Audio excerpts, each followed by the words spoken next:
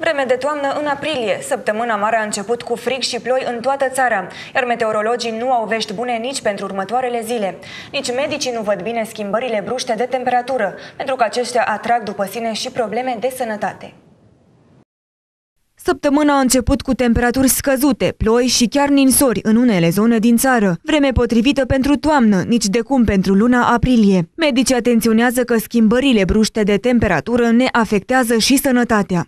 Deci odată cu modificările de temperatură legate de schimbările specifice anotimpului în care ne aflăm, ă, Sigur că pot să afecteze și starea de sănătate a populației, în principiu ă, afecțiunile de tract respirator, ă, predominant cele de tract respirator înalt, de la guturai sau de la banalele viroze până la traheobronșite, și respectiv cele de tract respirator inferior, bronșite, bronhopneumonii și chiar pneumonii. Trecerea de la temperaturile de vară la cele de toamnă târzie nu sunt semne deloc bune pentru organismul uman, iar cei care resimt aceste schimbări sunt în special vârstnicii. Foarte tare că eu am probleme cu artroza și cu genunchii, cu picioarele, cu șelele, foarte tare. De acum la medic vin, de acum.